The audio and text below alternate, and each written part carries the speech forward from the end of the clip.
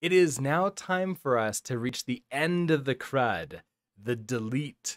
We're going to remove some items from, or at least an item from the database.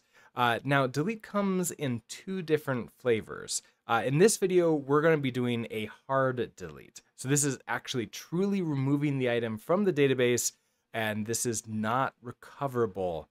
Uh, yeah, basically just not recoverable. It's gone forever. So uh, let's first start by uh, creating our Thunder Client request that's going to be doing the delete for us. So I'm going to do a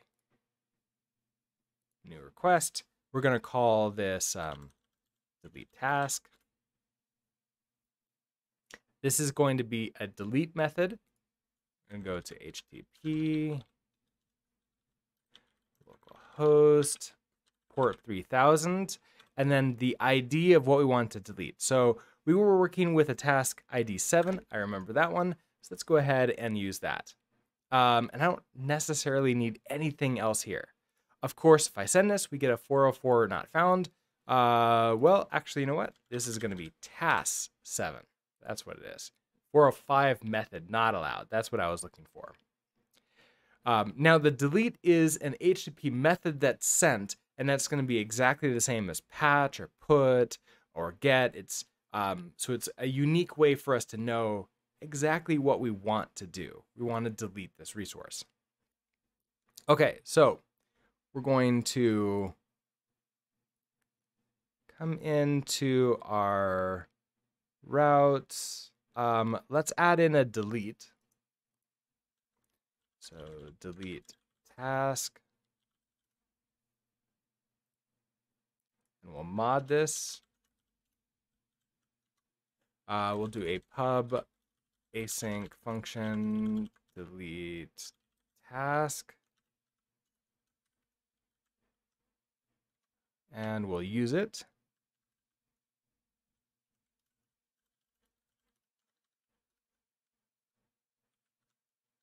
And let's throw this into our routes.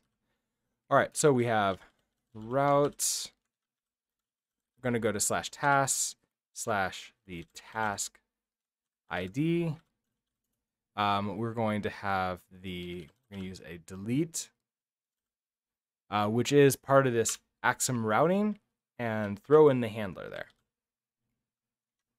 All right, so this should now allow us to, inside this delete, we should get to 200 okay, but if I go back to uh, the get, get one task, here's task seven, it still exists. So obviously we're not doing any deletes yet, but we have um, we have our test essentially set up for us to know if we've done it correctly now. Okay, so what do we need to come in here? Well, we need the task IDs. That's going to be the path.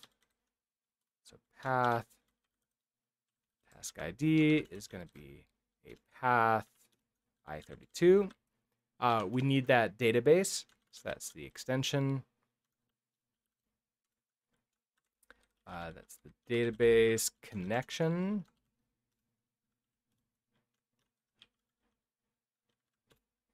Uh, and is there anything else that we necessarily need? Not really, because we don't need to take in any data.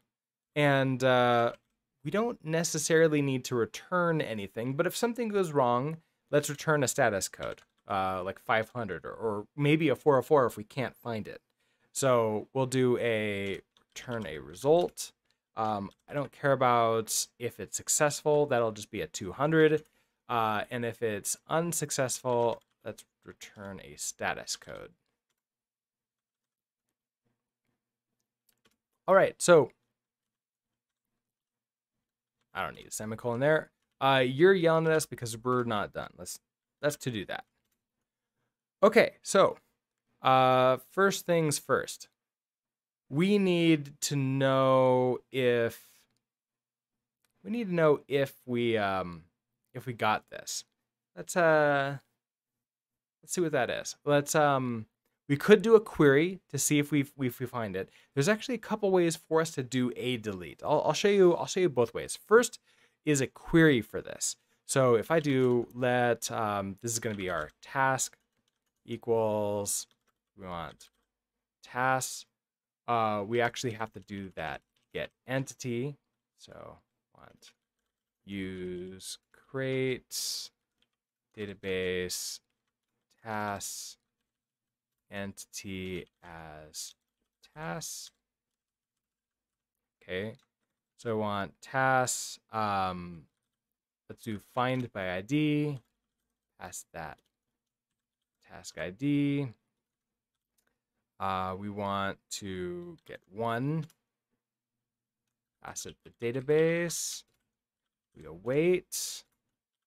Uh, we're going to map this error. So if we get an error at this point, it's because we couldn't find it. So this is going to be a 404. So we're going to want to return a status code uh, not found. And question mark that.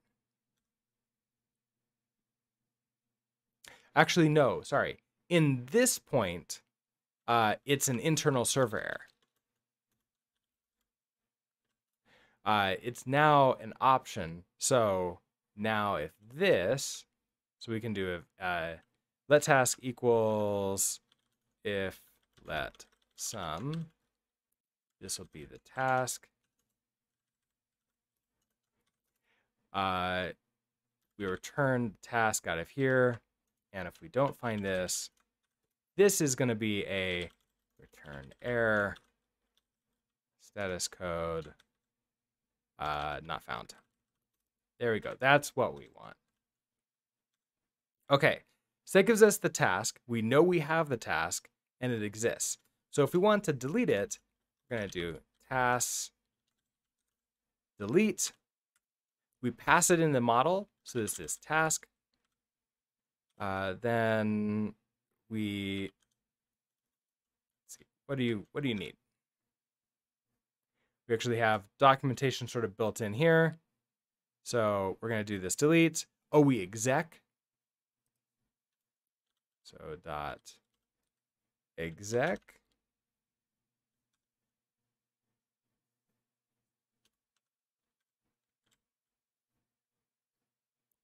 Uh, the trait bound ask model is an active model. Ooh, so you need to be you need to be an active model. So A where A is an active model trait. Okay, so we can do that. So we're going to turn this into an active model. So into active model.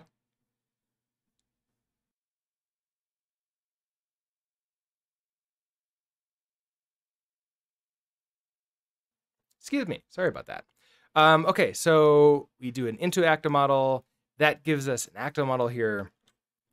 Now, now we're happy. Uh, exec, we pass it in a reference to the database.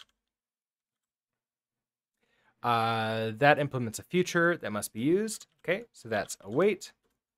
Um, that's probably going to have a result that must be used. So we're going to map the error. So we have our error here. And I want to return a status code. Don't save. Don't open random files. Uh, status code um, okay, uh, status code. What is it? Um, oh, internal server error. And then we can question mark you. Uh, we're good to go. And this just becomes an okay, okay. All right, this should work. Uh, let's test it out. So we have our get one task. This is still working. We go to delete task. Uh, we're deleting seven. 200 okay. Hey, we got a 404 not found for getting this one task. Excellent. So if I go to A6 now, okay, so 6 exists. Let's look through a different way to do this. So this is definitely one way. Um, and this is this is a way for us to know if it exists already. Uh, sometimes though, actually returning the 404 isn't what you want to do. Sometimes you just want to return a um, uh, 200 okay regardless of whether or not it was successful or not. Or maybe you want to internal server error if you attempt to do it and it fails. But you know, there's lots of different reasons why you might want not want to let somebody know that it didn't exist. So in that case, we can just go straight to delete. So we can do tasks uh, delete by ID uh, and pass it in the task ID. Uh, so in this case, we want to exec, pass it in a reference to the database. Uh, we have an await. Uh, we have a result, so we're going to map the error. Uh, and we're going to return that as a status code, uh, internal server error, question mark, and semicolon u. So this is a little bit uh, shorter. Um, right, I am not using this error. Um, I could get the message from the error and pass that uh, back too, but I'm just not in this API. Okay, and that uh, this should do exactly the same thing. So we have six here that exists. Let's go ahead and delete six. And that's gone as well. And then finally, what if we want to delete many things?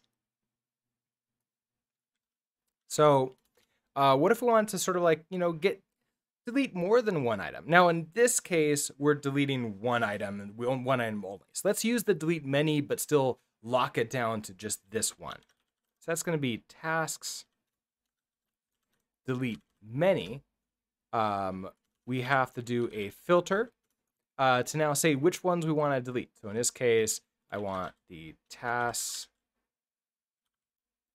import you. I want column ID we want to set that to be equal to the task ID. We want to execute this, the database. Uh, then we await. We map error, map error, please. Uh, we have our error, uh, and this becomes a status code uh, internal server error. Question mark that. And we're good. So this is a way we can delete many of these. If you do this, do not forget the filters. The filters are absolutely important. Otherwise, you will delete every item in that table, uh, which is not fun, um, unless that's exactly what you want. Um, I usually consider this delete many type, especially if you decide for some reason not to have a filter. This is the equivalent of the giant big red uh, self-destruct button that you know uh, James Bond villains seem to have in their lairs. At least the old movies do. Okay, so let's um, let's run this. So we have we have five. We do have a task ID five we run you, we delete, and now you're gone too. Uh, but four should still exist because we didn't delete everything yet. So this is how we delete items from the database. These are hard deletes again, so they're gone forever. If we want to recreate them, we have to literally recreate them with a new insert.